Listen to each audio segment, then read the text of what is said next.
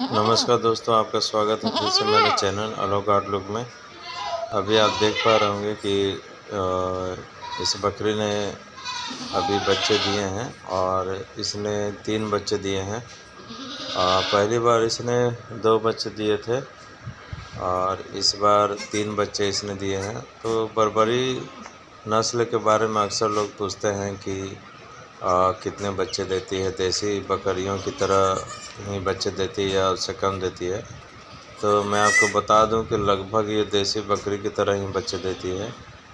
शुरू में first lactation में एक ज़्यादा चांसेस रहेगा एक या दो लेकिन उसके बाद जनरली तीन बच्चे तीन या चार तीन आ, के एवरेज में ये बच्चे देती है।